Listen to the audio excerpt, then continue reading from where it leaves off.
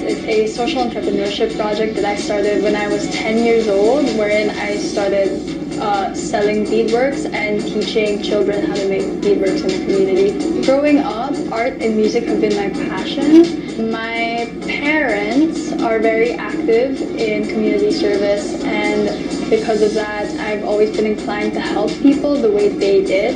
I think that child abuse is wrong and that having gone through that, every child should have the opportunity to recuperate and be given a future. For all the products sold, all the proceeds go to Bantay Bata.